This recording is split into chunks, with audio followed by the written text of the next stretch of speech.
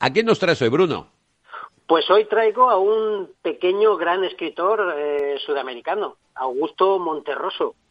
Augusto Monterroso es un escritor guatemalteco contemporáneo, murió en el 2003, fue premio Príncipe de Asturias en el 2000, por ejemplo. Y es un escritor que perteneció, digamos, al boom latinoamericano, pero que no es tan conocido como, como el resto de compañeros, ¿no? Y, yo quiero reivindicarlo porque es un grandísimo escritor de talla muy pequeña, cosa que siempre bromeaban con él, porque era, era muy, muy, muy pequeño de, tamaño corporal, pero muy grande como escritor. Tito lo conocían. Y nació en 1921 y, como he dicho, eh, nació en Honduras, porque su madre era hondureña, aunque su padre era guatemalteco. Pasó su primera infancia en, en Honduras, pero eh, luego se trasladó a Guatemala, que es donde pasó su adolescencia y su, y su primera juventud. Aunque tuvo un abuelo general, su familia era muy pobre y como pobre que era, tuvo que trabajar desde prácticamente la niñez y también, eh, como, como comentábamos eh, hace un par de semanas eh, sobre Saramago, tuvo que ser autodidacta, no tenía estudios reglados, pero eh, tenía una gran hambre de conocimiento y una gran hambre literaria y, logró formarse y conseguir luego ser profesor honoris causa de, diferentes universidades.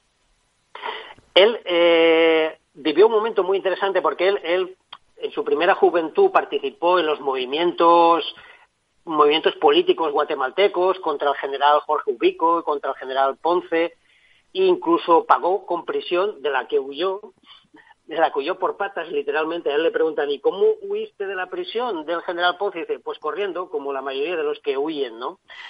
Huyó, se refugió eh, en, en, pidió asilo, asilo diplomático en la Embajada de México y se refugió en México en 1944 y prácticamente eh, ya no salió de allí hasta la muerte. No regresó a Guatemala, siguió viviendo toda su vida en México. Y pilló un gran momento en los años 40-50 en México. Recordará Ramón que en ese momento México era un hervidero de exiliados, de exiliados sudamericanos, de exiliados españoles de la Guerra Civil, de exiliados europeos de la Segunda Guerra Mundial.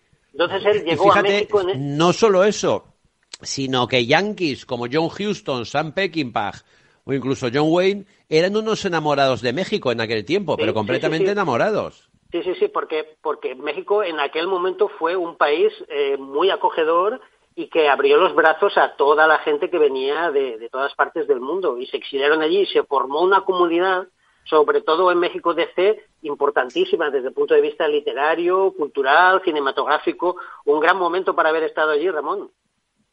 Sí, sí. Bueno, Buñuel también era de los que estaba allí. También, también, también, sí, sí, sí. Y de, hecho, el Oscar que tiene Buñuel se atribuye a la nacionalidad mexicana. Sí, sí, sí. sí. Entonces, Monterroso, que destaca, entre otras cosas, por su ironía. Por su ironía, por, por la capacidad que tiene para la parodia, para la sátira, para el humor negro, la caricatura. Fíjate, Ramón, lo que decía él. Él decía que el humorismo es el realismo llevado a sus últimas consecuencias. Él decía, excepto mucha literatura humorística, todo lo que hace el hombre es risible o humorístico. ¿no? Entonces era, era, un, era un, un maestro de, de, la ironía y un maestro de la concisión. Eh, yo creo que pasará la historia por haber escrito lo que algunos consideran el, el microcuento. El cuento más corto, ¿no? Más corto de la historia, aunque en realidad no es el más corto, Ramón. ¿Ah? En este momento le han superado. Y le ha superado un español y otro mexicano. Mira, Qué el, pena, porque este era, era, una narración del dinosaurio, ¿no? Que era el dinosaurio llegó y no sé qué. Exacto, mira, el, el, más, el más corto que existe en este momento es de un español, de un leonés, de un leonés que se llama Juan Pedro Aparicio. El, el microcuento se llama Luis XIV, el famoso Rey Sol, y el microcuento es Yo, punto. Bueno. Ese es el más corto en este momento. El segundo más corto es el de un mexicano, escritor mexicano y profesor aquí en, en España, Luis Felipe Lomeli, titulado El emigrante y que reza así. ¿Olvida usted algo? Respuesta, ojalá. Este es el segundo más corto de la historia. Y el tercero, que durante mucho tiempo fue el primero más corto de la historia, es el de Augusto Monterroso, titulado El dinosaurio, y que reza así. Cuando despertó, coma, el dinosaurio todavía, todavía estaba allí. Sí. Fantástico. Este, por ejemplo, este de Augusto Monterroso, lo cita Ítalo Calvino eh, poco antes de morir fue invitado a dar una serie de conferencias en Harvard y él estaba preparando eh, siete conferencias para dar en Harvard, cosa que no pudo hacer porque murió justo antes. Pues una de ellas, dedicada a la literatura breve, cita a, Augusto Monterroso y cita este microcuento porque él pensaba, él tenía ilusión de, escribir un libro que recopilara cuentos de una sola línea de la literatura universal y este de Augusto Monterroso le parecía magistral, ¿no? Eh, vivimos en la época y en la era de la brevedad, ¿no? En la época de los 170 caracteres del tweet, de la literatura adaptada a las redes sociales y por tanto de la literatura mini, de lo que algunos llaman literatura bonsai la literatura de los microtextos, ¿no? Claro, los microtextos pueden ser narrativos o no narrativos. Los narrativos, por ejemplo, serían los microrelatos o los microcuentos. Los no narrativos, por ejemplo, serían el aforismo, la máxima, la greguería. Los de Augusto Monterroso son eh, narrativos, evidentemente, y ficcionales. Imaginemos que eh, una matriz de un cuento, ¿vale? Un cuento tiene que ser narrativo, tener una mínima estructura narrativa y ficcional. Pues esa matriz del cuento le aplicamos dos procesos, uno de reducción y uno de intensificación, llegamos a la matriz del microrelato o microcuento. Qué bien lo has explicado, Bruno, maldita sea. Claro, tiene que tener las características de narratividad y ficcionalidad del cuento, pero reducido e intensificado. Ahí tenemos el microcuento. Microcuento no es decir algo eh, muy breve, sino claro, muy breve. una tontada. Hola, buenos días. No, eso no es un microcuento. No, que tenga una mínima Bruno, en cierta manera es lo que se hace en el relato respecto a la novela. Un poco también sería, un poco también sería. En última instancia, también el microrelato sería una superreducción de una novela. ¿Sí? En ese sentido también, también sería así, ¿no? Y a, él siempre le preguntan, a, a Monterroso, por qué se decidió por, por este tipo de literatura, que en el momento en que él escribía, pues no era una literatura bollante, ¿no? Y menos frente a los grandes genios del boom, ¿no? Vargas Llosa, eh, García Márquez y tal. Y él dice, cuenta que, que, se decantó por este tipo de literatura porque era pobre. Él dice que, que trabajó durante una, unos cuantos años en una carnicería en, Guatemala, de ayudante del contable de la carnicería. Él era, como he dicho, un niño pobre, no tenía estudios, pero tenía una gran eh, inquietud cultural. Y justo el, contable era una persona muy culta y le inició en la literatura, le pasó, le pasó libros muy importantes eh, en su vida. Y él trabajaba en la carnicería de 4 de la mañana a 6 de la tarde. Cuando salía a las 6 de la tarde, rápidamente se iba a la Biblioteca Nacional de Guatemala a leer hasta las 10 de la noche. Qué importantes son siempre esas presencias de algún adulto que te encauza hacia la lectura y despierta tus inquietudes y tus sensibilidades y tus apetitos. Sí, hablamos de lo mismo con Camus, que cuando le dieron el premio Nobel lo agradeció inmediatamente a su profesor de primaria, ¿no? que fue el que le inició. Pues en este caso el que inició a Monterroso fue su jefe, el contable jefe, y él acudía a la, biblioteca, como he dicho, de, nacional de Guatemala, y él dice que todas las bibliotecas nacionales de los países subdesarrollados son bibliotecas que, que al carecer de, presupuesto, eh, se nutren de donaciones de los ricos, donaciones de los grandes abogados, de los grandes políticos, de los grandes médicos, y esta gente tiene bibliotecas muy buenas, formadas sobre todo por libros clásicos, tanto clásicos grecolatinos como clásicos de literatura española. Entonces él se inició en la literatura con los clásicos grecolatinos y los clásicos de la literatura española y dice que de ellos aprendió esa, ese deseo, esa ansia por la levedad, por la precisión, por el aligeramiento de, los textos. Él, él eh, eh, heredó este tipo de querencia de, estos escritores. Entonces debemos eh, lo que escribió eh, Monterroso a estos clásicos, estos clásicos que encontró en, la Biblioteca Nacional. Siempre es lo mejor para formarse, creo yo, los clásicos. Sí, sí, sí, sí, sí.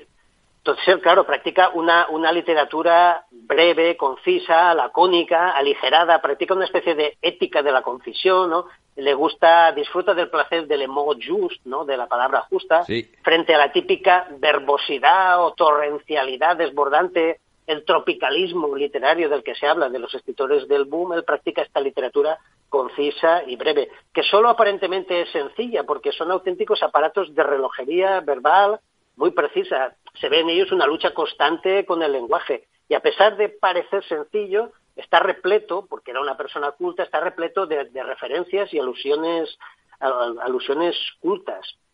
Pero al mismo tiempo combinado con lo que has dicho tú antes, eh, Ramón, de, una gran eh, ironía, de, una gran capacidad para la parodia, para el humor negro. Él decía que, siempre se dejaba llegar por lo absurdo y por lo ilógico, porque esto provocaba una especie de cortocircuito en, en la mente del lector que le hacía pensar. ¿no?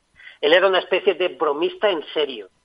Eh, yo creo que la, que, que, que la raíz de su éxito era mezclar en su tono eh, una ligera amargura con ironía y al mismo tiempo con un tono tierno que transmitía el mismo. Yo, yo invito a los oyentes a que, que le escuchen en alguna de las conferencias que, existen grabadas de él, porque era un tipo muy tierno y como era pequeñito y redondito, transmitía mucha ternura. Y eso se nota en su literatura.